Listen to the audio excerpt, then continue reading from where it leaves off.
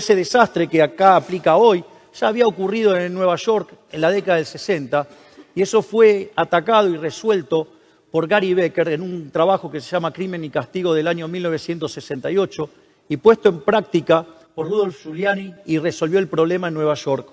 Lo tiene a Rudolf Giuliani, ¿no? El hombre que, bueno, obviamente fue alcalde de New York.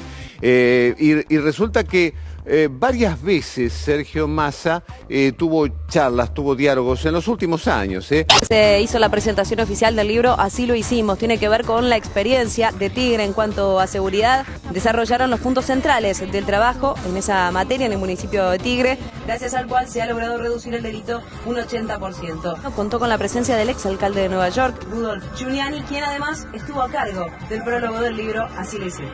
Una enorme alegría. Vamos a tener una coincidencia porque el libro que cuenta lo que hice en Tigre está prologado y presentado acá en la Argentina por Rudolf Giuliani.